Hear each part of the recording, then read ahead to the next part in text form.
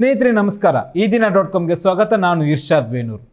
ಲೋಕಸಭಾ ಚುನಾವಣೆಯಲ್ಲಿನ ಪ್ರಬಲ ಪ್ರದರ್ಶನವನ್ನು ಮುಂದುವರಿಸಿರುವಂತಹ ಇಂಡಿಯಾ ಮೈತ್ರಿಕೂಟ ಏಳು ರಾಜ್ಯಗಳ ಹದಿಮೂರು ವಿಧಾನಸಭಾ ಕ್ಷೇತ್ರಗಳ ಪೈಕಿ ಹತ್ತು ಸ್ಥಾನಗಳನ್ನು ಗೆದ್ದುಕೊಂಡಿದೆ. ಆ ಮೂಲಕ ಇತಿಹಾಸ ನಿರ್ಮಿಸಿದೆ. ಬಿಜೆಪಿ ನೇತೃತ್ವದ ಎನ್ ಡಿ ಎ ಕೇವಲ ಎರಡು ಸ್ಥಾನಗಳಿಗೆ ಮಾತ್ರ ಸೀಮಿತವಾಗಿ ಬಿಟ್ಟಿದೆ ಒಂದು ಸ್ಥಾನದಲ್ಲಿ ಸ್ವತಂತ್ರ ಅಭ್ಯರ್ಥಿ ಗೆದ್ದಿದ್ದಾರೆ. ಕಳೆದ ತಿಂಗಳಷ್ಟೇ ಮೂರನೇ ಅವಧಿಗೆ ಅಧಿಕಾರಕ್ಕೇರಿದ ಬಿಜೆಪಿ ಉತ್ತಮ ಪ್ರದರ್ಶನ ನೀಡುವಲ್ಲಿ ಸಂಪೂರ್ಣವಾಗಿ ವಿಫಲವಾಗಿದೆ. ಪಂಜಾಬ್ನ ಜಲಂಧರ್ ಪಶ್ಚಿಮ ಕ್ಷೇತ್ರದಲ್ಲಿ ಆಮ್ ಆದ್ಮಿ ಪಕ್ಷದ ಅಭ್ಯರ್ಥಿ ಮೋಹಿಂದರ್ ಭಗತ್ ಅವರು ಇಪ್ಪತ್ತ್ಮೂರು ಸಾವಿರ ಮತಗಳ ಅಂತರದಿಂದ ನಿರ್ಣಾಯಕ ವಿಜಯ ಸಾಧಿಸಿದ್ದಾರೆ. ಪಶ್ಚಿಮ ಬಂಗಾಳದಲ್ಲಿ ಚುನಾವಣೆ ನಡೆದ ಎಲ್ಲ ನಾಲ್ಕು ಸ್ಥಾನಗಳನ್ನು ಮಮತಾ ಬ್ಯಾನರ್ಜಿ ನೇತೃತ್ವದ ಟಿ ಎಂ ಸಿ ಎಲ್ಲ ಸ್ಥಾನಗಳನ್ನು ಗೆಲ್ಲುವ ಮೂಲಕ ಮತ್ತೊಮ್ಮೆ ತನ್ನ ಪ್ರಾಬಲ್ಯವನ್ನು ಪ್ರದರ್ಶಿಸಿದೆ.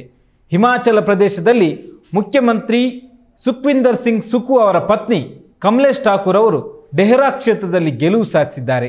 ತಮ್ಮ ಮೊದಲ ಸ್ಪರ್ಧೆಯಲ್ಲೇ ವಿಧಾನಸಭೆಯನ್ನು ಪ್ರವೇಶಿಸಿದ್ದಾರೆ. ನಲಗಢ ಕ್ಷೇತ್ರವನ್ನು ಕೂಡ ಕಾಂಗ್ರೆಸ್ ಗೆದ್ದುಕೊಂಡಿದೆ. ಹಮೀರ್ಪುರದಲ್ಲಿ ಬಿಜೆಪಿ ಗೆಲುವು ಸಾಧಿಸುವಲ್ಲಿ ಯಶಸ್ವಿಯಾಗಿದೆ. ತಮಿಳುನಾಡಿನ ವಿಕ್ರವಾಂಡಿ ವಿಧಾನಸಭಾ ಕ್ಷೇತ್ರದಲ್ಲಿ ಡಿಎಂಕೆಯ ಅನ್ನಿಯೂರ್ ಶಿವ ಅವರು ಸುಮಾರು ಅರವತ್ತು ಸಾವಿರ ಮತಗಳ ಅಂತರದಿಂದ ಗಮನಾರ್ಹ ಗೆಲುವು ಸಾಧಿಸಿದ್ದಾರೆ. ಬಿಜೆಪಿ ಅಧಿಕಾರದಲ್ಲಿರುವ ಉತ್ತರಾಖಂಡದ ಬದ್ರಿನಾಥ್ ಮತ್ತು ಮಂಗಳೂರು ಎರಡೂ ಸ್ಥಾನಗಳಲ್ಲಿ ಕಾಂಗ್ರೆಸ್ ಗೆದ್ದಿದ್ದರೆ ಮಧ್ಯಪ್ರದೇಶದ ಅಮರಾವಾರ್ ಕ್ಷೇತ್ರದಲ್ಲಿ ಬಿಜೆಪಿಯ ಕಮಲೇಶ್ ಪ್ರತಾಪ್ ಶಾಹಿ ಗೆಲುವು ಸಾಧಿಸಿದ್ದಾರೆ. ಬಿಹಾರದ ರೂಪೌಲಿ ಕ್ಷೇತ್ರದಲ್ಲಿ ಜೆ ಯು ಅಭ್ಯರ್ಥಿ ಕಲಾಧರ್ ಪ್ರಸಾದ್ ಮಂಡಲ್ ಅವರನ್ನು ಸ್ವತಂತ್ರ ಅಭ್ಯರ್ಥಿಯಾಗಿ ಸ್ಪರ್ಧಿಸಿದ್ದ ಶಂಕರ್ ಸಿಂಗ್ ಕೇವಲ ಎಂಟು ಮತಗಳ ಅಂತರದಲ್ಲಿ ಸೋಲಿಸಿದ್ದಾರೆ. ಬಿಹಾರದಲ್ಲಿ ಬಿಜೆಪಿ ಜೆ ಡಿ ಯು ಮೈತ್ರಿ ಸರ್ಕಾರಕ್ಕೆ ಭಾರೀ ಮುಖಭಂಗವಾಗಿದೆ. ಕಳೆದ ಲೋಕಸಭಾ ಚುನಾವಣೆಯ ಬಳಿಕ ನರೇಂದ್ರ ಮೋದಿಯವರ ನಸೀಬೆ ಸರಿಯಿಲ್ಲ ಏನೋ ಅಂತ ಈ ಫಲಿತಾಂಶ ಅನ್ನಿಸ್ತಾ ಇದೆ. ಫಲಿತಾಂಶ ಹೊರಬೀಳುತ್ತಿದ್ದಂತೆ ಟ್ವೀಟ್ ಮಾಡಿರುವಂತಹ ಲೋಕಸಭೆಯ ವಿಪಕ್ಷ ನಾಯಕ ಹಾಗೂ ಕಾಂಗ್ರೆಸ್ ಮುಖಂಡ ರಾಹುಲ್ ಗಾಂಧಿ ಬಿಜೆಪಿ ಹೆಣೆದಿದ್ದ ಭಯ ಮತ್ತು ಗೊಂದಲದ ಜಾಲ ಮುರಿದು ಬಿದ್ದಿರುವುದನ್ನು ಏಳು ರಾಜ್ಯಗಳ ಉಪಚುನಾವಣೆಯ ಫಲಿತಾಂಶ ಸ್ಪಷ್ಟಪಡಿಸಿದೆ.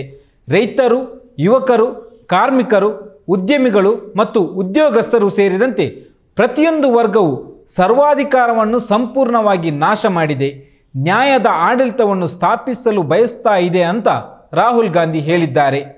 ಸಾರ್ವಜನಿಕರು ಈಗ ತಮ್ಮ ಜೀವನದ ಸುಧಾರಣೆಗಾಗಿ ಮತ್ತು ಸಂವಿಧಾನದ ರಕ್ಷಣೆಗಾಗಿ ಭಾರತ ಮೈತ್ರಿಕೂಟದೊಂದಿಗೆ, ಅಂದರೆ ಇಂಡಿಯಾ ಮೈತ್ರಿಕೂಟದೊಂದಿಗೆ ಸಂಪೂರ್ಣವಾಗಿ ನಿಂತಿದ್ದಾರೆ ಅಂತ ರಾಹುಲ್ ಗಾಂಧಿ ಟ್ವೀಟ್ ಮಾಡಿದ್ದಾರೆ.